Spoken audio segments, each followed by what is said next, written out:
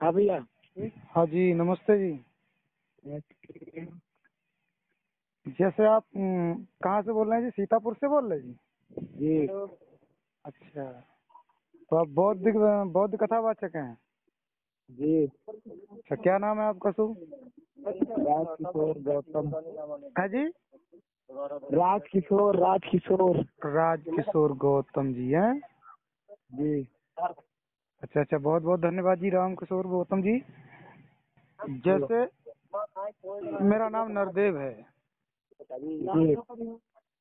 हाँ तो मेरा नाम नरदेव है मैं जनपद बदायूं से और थाना हजरतपुर ग्राम चंगासी पड़ता है मेरा। जी। अरे एक शंका थी यार वो बौद्ध वाचकों में कथावाचकों में यार बड़ा धर सनातन वालों में उनमें जो लफड़ा हो रहा है एक शंका थी वो शंका समाधान हो जाती है यार। बोलो।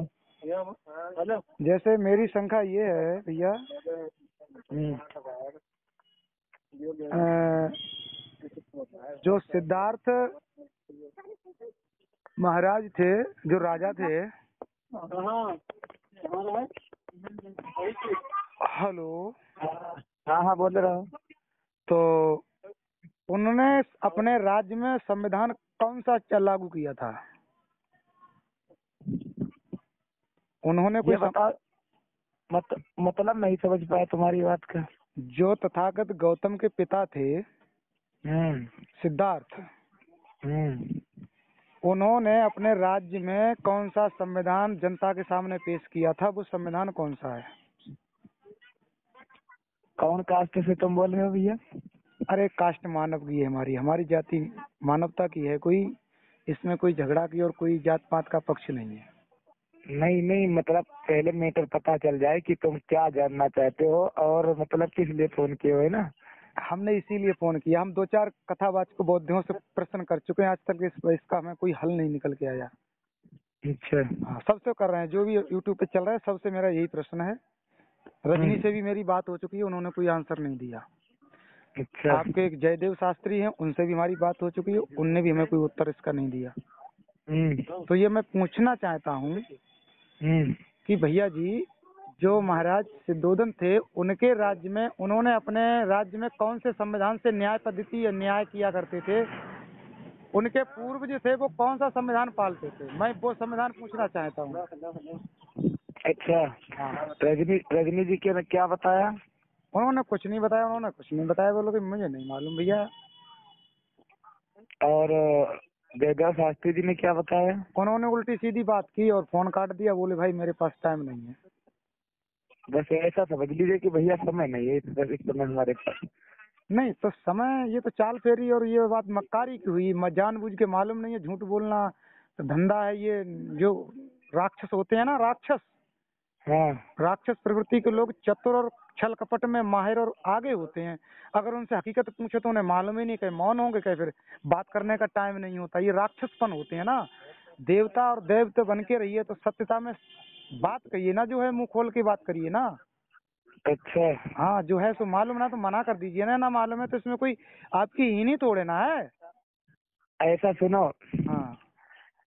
जिस प्रकार से आप बात कर रहे हैं ऐसे कोई बात थोड़ी करता है। नहीं, कोई चीज़ पूछना है आप सामने आएँगे हम आपको बताएँगे। नहीं नहीं आप यहाँ से आप यहाँ आओगे हम तुम्हें बताएँगे। नहीं। लेकिन ये सारी बातें जो बता रहे फ़ोन पे इतना भैया हमारे पास समय नहीं कि तुम्हारे पास तुम्हारे साथ में बैठ करके हम बात करें ना? नहीं नहीं नहीं आपको मालूम ही नहीं है ना। आपको मालूम है कि कपट पकड़ जाएगा इसमें आपके पास दम होती ना लंगोटी में तो आप पहलवान को जब कोई अखाड़े में ललकारे तो खून होता है तो वो बल पड़ता है।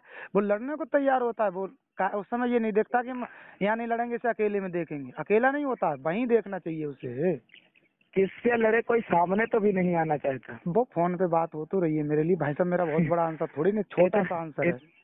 इतना भैया इतना हमारे पास फालतू समय नहीं कि मतलब हम फ़ोन से बात करें। नहीं नहीं ऐसा कुछ नहीं है। भाई साहब कथावाचकों हमें मालूम खेती तो करते नहीं है। कथावाचकों का धार्मिकता में लीन होती है और इतिहास को पढ़ना ही हमारा तुम्हारा परम कर्तव्य है।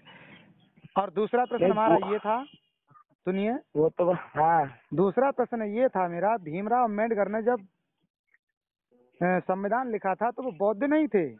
वो उस समय बौद्धिस्ट नहीं थे। वो हम्म, सनातनी थे और बौद्धिस्ट तो उन्होंने सन 1956 में बौद्ध धर्म को स्वीकृत किया है। हम्म चौदह अक्टूबर को। है? ये गलत है या सही है? हम्म, बिल्कुल सही है। फिर आप लोग ये कैसे कहते हैं कि बाबा भीमराव अंबेडकर ने संविधान लिख दिया और उसमें तो तीन सौ लोगों ने साढ़े तीन सौ लोगों ने संविधान लिखा है भाई साहब। उसकी अध्यक्षता थी उनके पास वो सबसे बड़े चैप्टर मजिस्ट्रेट मजिस्टर थे उन्होंने लिखा है ये। साढ़े तीन लोग साढ़े तीन सौ लोगों का खाली ये सहयोग था कि मतलब इतने लोगों को संविधान बनाने का मतलब मौका मिला था लेकिन किसका संविधान सही होगा ये नहीं पता था किसी नहीं नहीं उस पर अगर आप माने तो भाई साहब सबके उस पर जो है फाइनेंस पड़े हुए नाम पड़े हुए इन इन लोगों ने लिखा है उसके ऊपर मजिस्टर चीफ मिनिस्टर थे उन्होंने लिखा है। ये सब डॉक्यूमेंट हम्म। हैं अभी मर नहीं गए लंदन में सब रखे हुए हैं। इन, हम्म। इंडिया लाइब्रेरी से भी निकल आते हैं यूट्यूब पे भी निकल आते हैं गूगल से भी हम्म। निकल आते हैं। बड़े बड़े वाचक हैं। पर ये झूठ हम्म। कहाँ तक चलेगा? मतलब वहाँ पे लोग कहाँ तक झूठ छिपाएँगे ये बताओ। हम लोग झूठ बता रहे हैं कि यहाँ पे लोग झूठ बता रहे हैं। सृष्टि की उत्पत्ति को कितने दिन हो गए हैं? ऐसा करिएगा तुम सामने आइएगा तब बात करेंगे। ठीक भैया फ़ोन पे इतना हम टाइम नहीं